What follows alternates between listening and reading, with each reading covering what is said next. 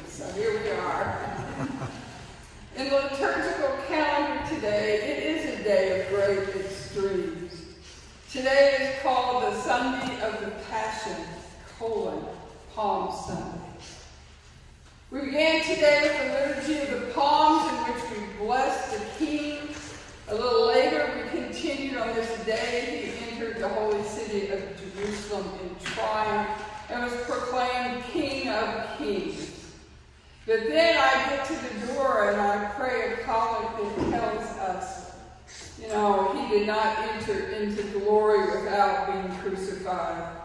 He did not go into joy without pain. Now today's gospel text, which we're going to hear in just a few minutes, is the passion of our Lord Jesus Christ according to Luke. And it is a long one, 114 verses. And let me tell you now, you can sit until the time it comes in the verse that he gets to Golgotha and then everyone stands. It takes us from the Passover meal with the disciples where Jesus institutes the first Lord's Supper up until the time when he was buried. In Luke's story, Jesus is God's faithful son from the beginning to the end. He not only proclaims the word of God, but he enacts it. There is perfect coherence between what he says and what he does, making him, of course, a perfect model, model for his followers. Jesus lays out the challenge for each of us to live lives that accurately reflect our faith into the world, which is his life. Now, in Luke, Jesus dies in calm obedience, somewhat in contrast to the passionate despair portrayed in Mark's the Passion Gospel, where Christ cries out for his Father, who he believes has abandoned him. Luke interprets, his interpretation gives us some insights to what is important and not found in other Passion stories. It is only in the Gospel of Luke that Jesus is recorded to pray one of the most powerful and transforming prayers he ever says. The first thing Jesus utters upon the cross is, Abba, forgive them, for they know not what they are doing. Now, I don't find it surprising at all that Jesus is praying to his Father as he's hanging on the cross. But if I were hanging on the cross beside him, I think I would also, I would be frantically praying, but I'm pretty sure I would praying for myself. The focus would be, you know, please save me, deliver me, rescue me from this nightmare, remove this pain. Oh God, have mercy on me. We tend to instinctively cry out to God in the midst of our own despair. However, what is so amazing about Jesus is he does not pray for himself or his family his disciples, nor his followers. Rather, the first words that he utters upon the cross are prayers for the people who are putting him to death. He prays for his enemies. He's praying for those who chanted, Crucify him, crucify him. For those who stand in front of him and mock him with the title King of the Jews. This prayer of Jesus enacts the Word of God, putting the Word of God into action. Remembering the Sermon on the Mount, when Jesus taught us that we should love our enemies and pray for those who persecute us. Here we witness Jesus living out those words. There are additional excuse me, unique things about the Passion Gospels told by Luke and some are important. Matthew and Mark looked at Jesus cried out loudly when he died. But Luke tells us that Jesus cried and what he says. Father, into your hands I commend my spirit. This prayer comes from the 31st Psalm, an evening prayer. Some theologians believe that this prayer may have been a bedtime prayer for Hebrew children their parents, similar to what we've been used to praying if we die before we wake. We pray the Lord our soul to take. The rest of the, of the prayer is, You have redeemed me, O Lord, faithful God. This is such a beautiful prayer, a prayer of Jesus relinquishing his life to his Father. Another way that we are to model Christ. The next thing is the word paradise, which only appears three times in the whole New Testament, here in 2 Corinthians and in Revelations. The Greek word means garden. This garden appears to be God's garden, an image of the new creation at the end of time. The mention of paradise comes up in the exchange between Jesus and the other two condemned men. One of the men mocks Jesus, but the other wants to be remembered by Jesus when he enters the kingdom. Jesus told this man, Truly I tell you, you will be with me in paradise, in God's garden. Christians have found tremendous hope from this verse. Our hope is that one day we also will be with Jesus in his garden. Another unique gift from, the, from Luke's passion is that only Luke records the Roman centurion saying, Certainly this man was innocent. Some of us may be waiting to, expecting to hear truly this man is God's son, which is what Matthew and Mark record here. However, Luke declares a truth that both Rome and Jerusalem would have ignored otherwise. Jesus is innocent. He has done nothing wrong. An innocent man is killed. And this is what Luke wants us to look at when we see the cross.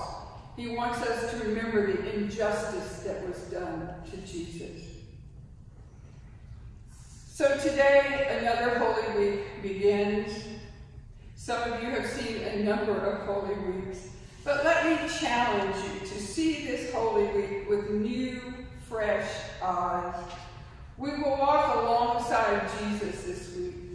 Today we accompanied him in triumph, in triumphant entry into Jerusalem, riding a donkey to the shouts, Hosanna, fulfilling the prophecy of Zechariah. On Monday, we can reflect on how Jesus walked into the Jerusalem temple, overturned tables where money was being exchanged. On Tuesday, we were taught that Jesus taught in parables warning people against the Pharisees and predicting the destruction of the temple. We know a little about Wednesday. I like to think maybe he might have got some rest. Thursday evening, we will come together here to join Jesus in the upper room to celebrate the events of the Last Supper, the foot washing, and the institution of the Holy Eucharist. Later that evening, in the Garden of Gethsemane, Jesus prayed about what lay ahead of him. On Good Friday, we walk beside Jesus in, in his, to his crucifixion. We will come together in a bare church with all the Christian symbols and covers and things removed, everything gone. When we depart Friday evening, we leave our Christ lying in the tomb where he remains on Saturday. However, when we return for Easter Sunday, the Christian Passover, we will see that the stone will have been removed and we celebrate the resurrection of Jesus Christ our Lord. During Holy Week, we, the believers, participate in the dying and rising again of Jesus. As Jesus passes from death to life, we also pass from death into life and share his victory over death. Every Holy Week we are born anew as we celebrate the Paschal mystery, which incorporates us into everlasting life with Christ. Now let us hear the story of our salvation as told again in the Gospel of Luke. Amen.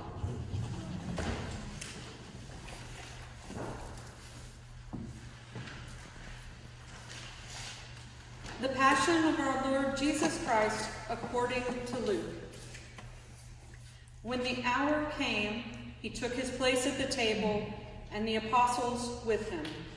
He said to them, I have eagerly desired to eat this Passover with you before I suffer.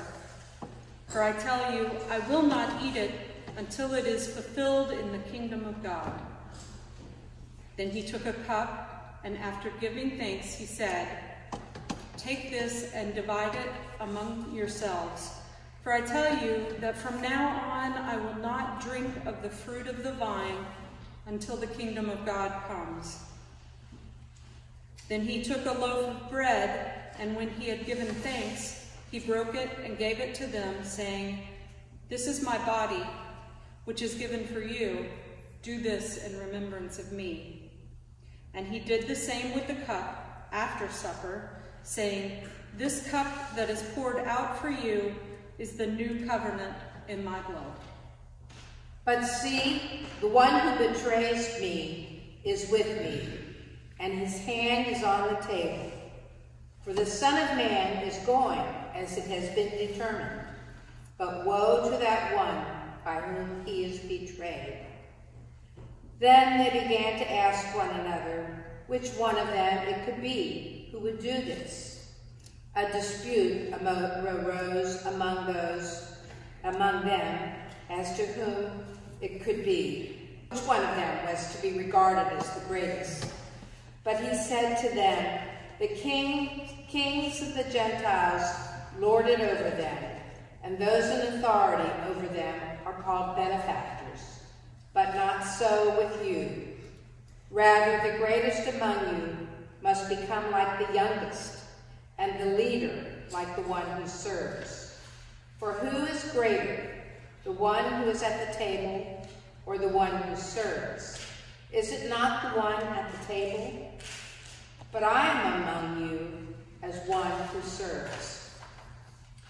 You are those who have stood by me in my trials, and I confer on you, just as my Father has conferred on me a kingdom, so that you may eat and drink at my table in my kingdom, and you will sit on the thrones judging the twelve tribes of Israel. Simon, Simon, listen. Satan has demanded to shift all of you like wheat. But I have prayed for you that your own faith may not fail. And you, when once you have turned back, strengthen your brothers. And he said to him, Lord, I am ready to go with you to prison and to death. Jesus said, I tell you, Peter, the cock, croc, cock will not crow this day until you have denied three times that you know. He said to them, When I send you out without a purse, bag, or sandals, did you like anything? They said, No, not a thing. He said to them, But now the one who has a purse must take it, and likewise a bag.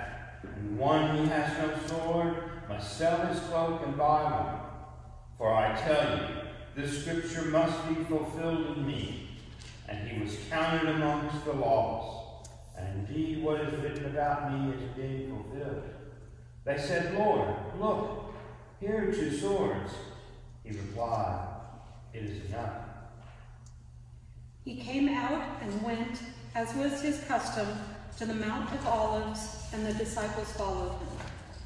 When he reached the place, he said to them, Pray that you may not come into the time of trial.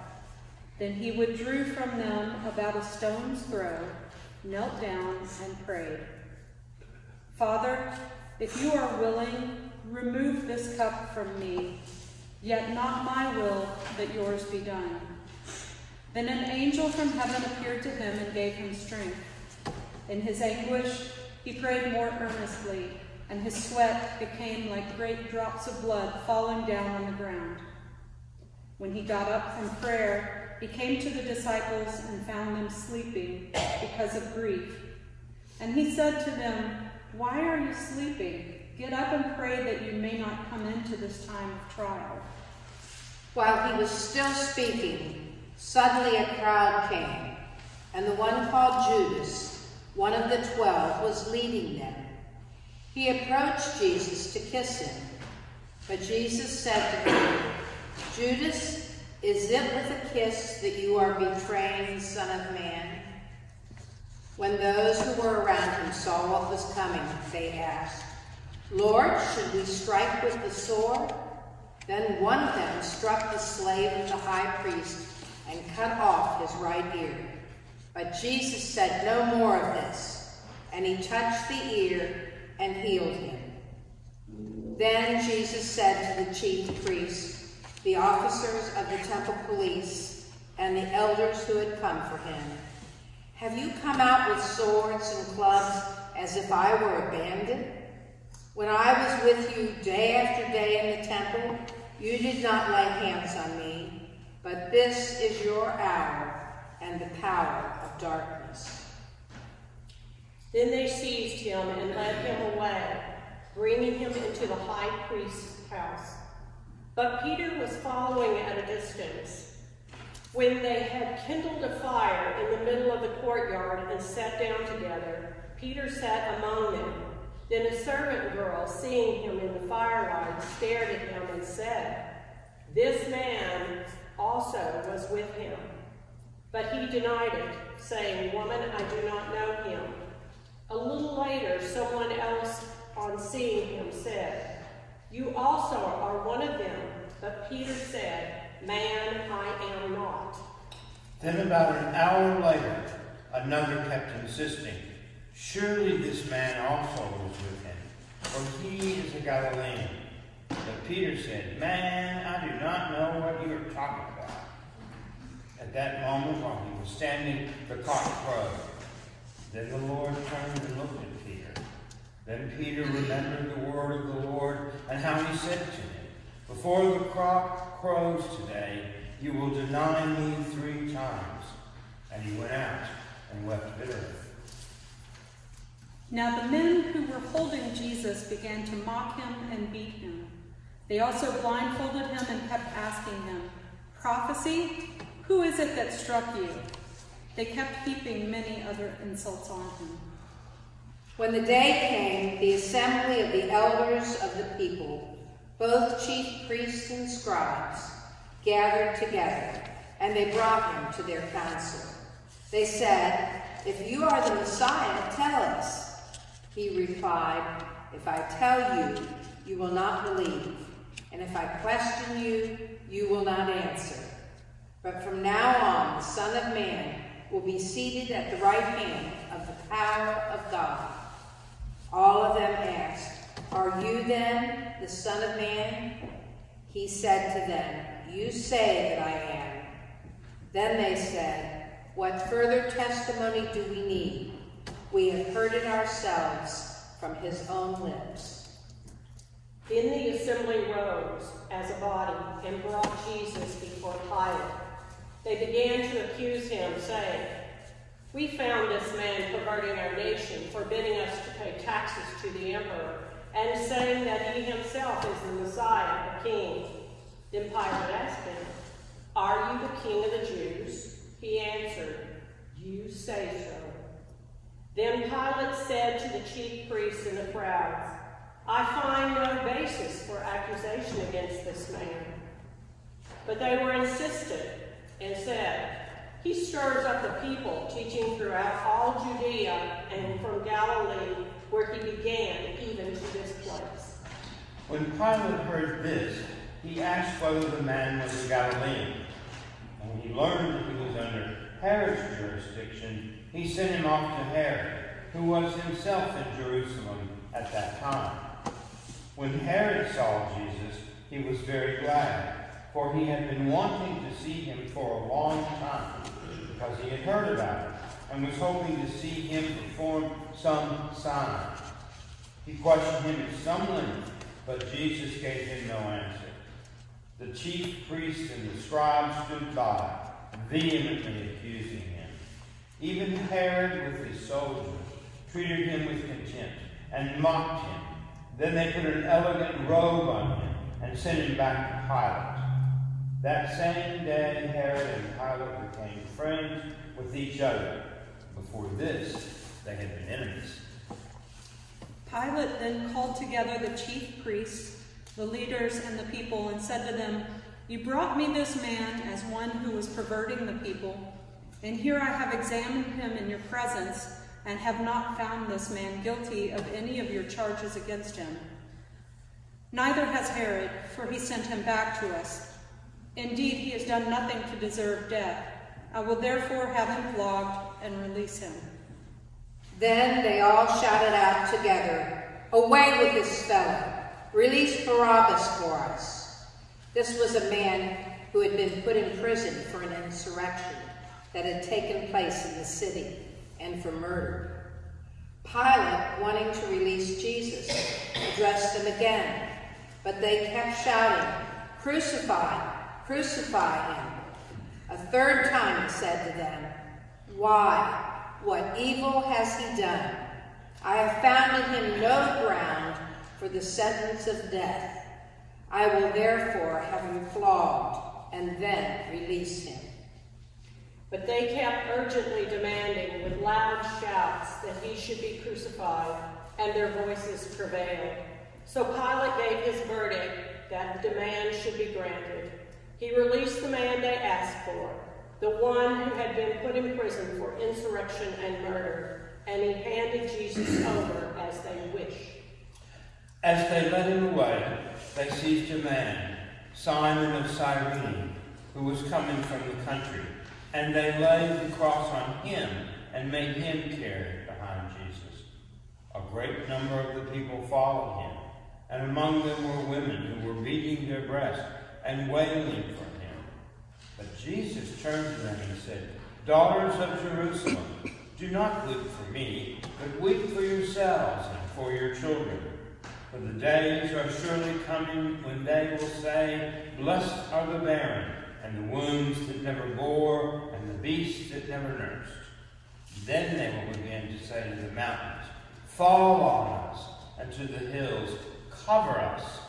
For if they do this when the wood is green, what will happen when it is dry? Two others also, who were criminals, were led away to be put to death with him.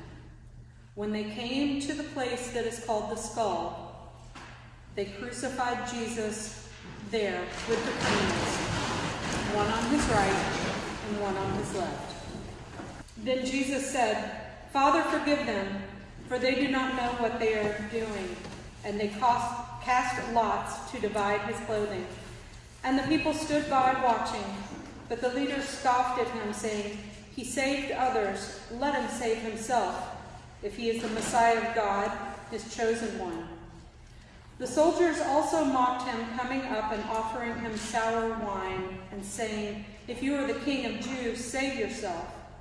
There was also an inscription over him This is the king of the Jews. One of the criminals who were hanged there kept riding him and saying, Are you not the Messiah? Save yourself and us. But the others rebuked him, saying, Do you not fear God, since you are under the same sentence of condemnation?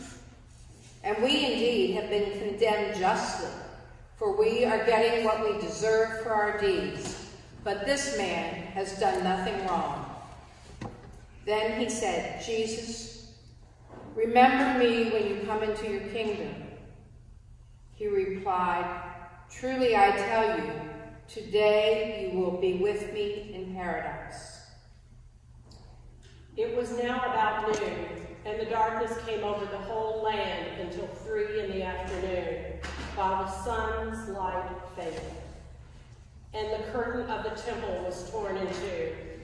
Then Jesus, crying with a loud voice, said, Father, into your hands I commend my spirit. Having said this, he breathed his last. When the centurion saw what had taken place, he praised God and said, Certainly this man was innocent. And when all the crowds who had gathered there for this spectacle saw what had taken place, they returned home beating their breasts. But all his acquaintances, including the women who had followed him from Galilee, stood at a distance watching these things. Now there was a good and righteous man named Joseph, who, though a member of the council, had not agreed to their plan and action. He came from the Jewish town of, of Arimathea, and he was expecting for the kingdom of God.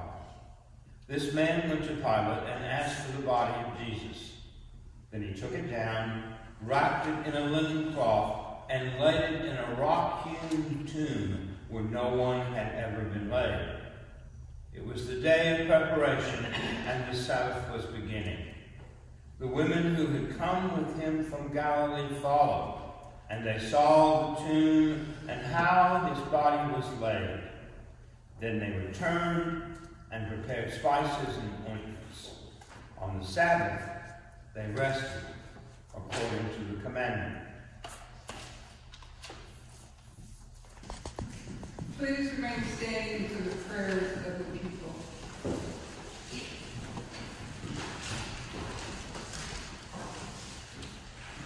Loving God, through the passion of your Son, Jesus Christ, you have poured out your divine life and love for us, despite our evil. Strengthen us to take up our cross and to follow in his way that we may share your redeeming work as we pray. We have trusted in you, O God. We have said, You are our God. Amen. You have called your church to be the community of the crucified one, O gracious one. Help us to walk in Christ's path of obedient humility that we may be willing to suffer for the sake of your goodness. We have trusted in you, O God. We have said, You are our God. In Christ's exaltation upon the cross, you have made a mockery of the pretensions of the rulers and authorities of the world, Almighty One.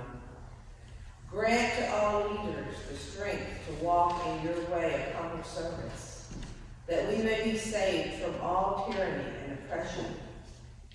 We have We have trusted in you, O God. we, We have said, You are our God.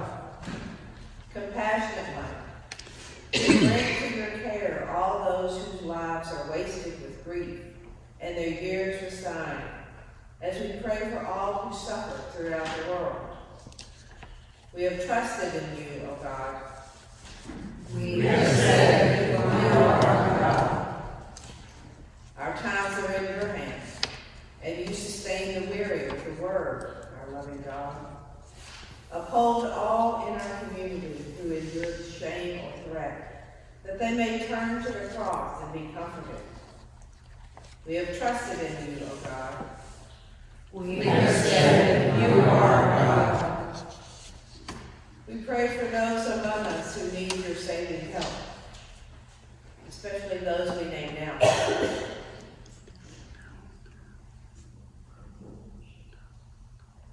We give you thanks for pouring your divine life into our lives as we offer our gratefulness and thanksgiving, especially for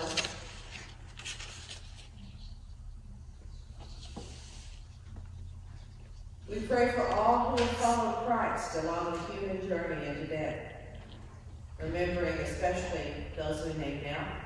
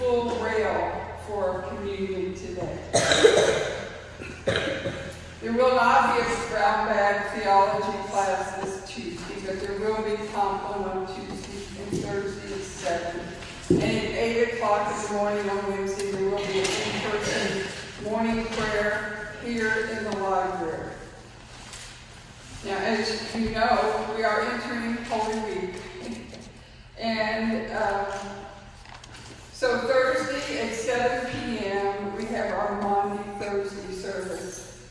Uh, this year we will be washing hands and feet, either which, whichever one you choose uh, during the service, so please come. And Good Friday, will, will, our service will be at 7 p.m. on Friday. Then one, we have one service on Easter that's at 10.30. And we hope to see you there. Now, right after this service today, there is a reception in the parish hall to open our new exhibit called the Homecoming exhibit, which has items that people have brought from home that are precious to them, mainly quilts, family quilts, and some baskets and so. So please, after the service, make your way briefly into the parish hall for that.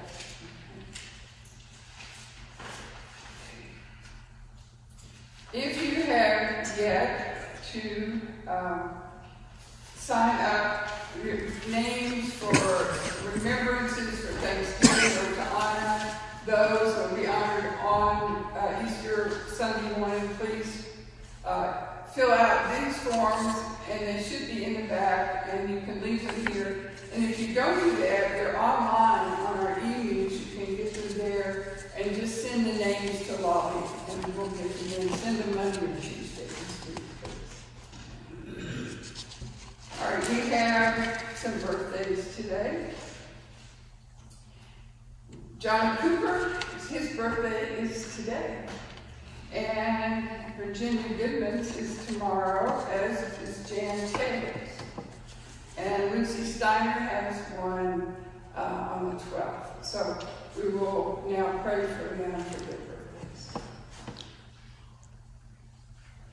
Watch over your children, O Lord, as their days increase. Bless and guide them wherever they may be. Strengthen them when they stand. Comfort them when discouraged or sorrowful. Raise them up if they fall, and in their hearts may your peace, which passes understanding, abide all the days of their life. Through Jesus Christ our Lord. Amen. I'm glad to see you. It's a pleasure to have you here today. So walk in love as Christ loved us and gave himself for us, an offering and sacrifice to God.